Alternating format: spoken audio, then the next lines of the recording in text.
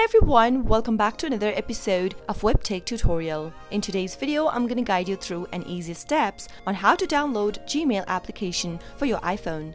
Keep watching the video till the end and don't forget to subscribe to our channel by hitting that subscribe button. Also press the notification bell icon so that you'll never miss another upcoming updates from us.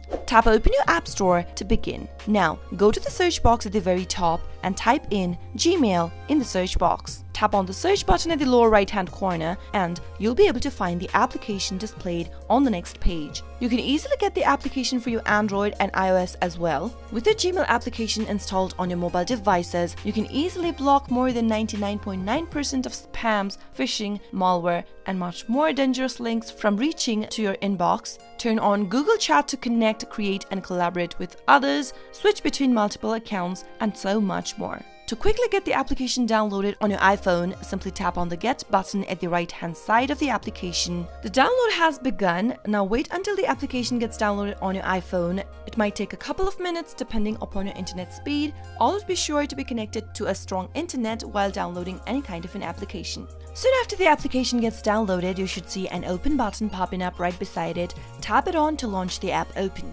This is the first interface of Gmail, which looks like this. At the very bottom, tap on the sign in button. You'll need to go ahead and set up your email by selecting one of these options over here. Tap on Google in order to log into your Gmail account and tap continue. Go ahead and enter your Google account's credential and you'll be good to go. That is how you can easily download the Gmail application for your iPhone. I hope the tutorial was helpful to you. If it was, go ahead and give us a thumbs up.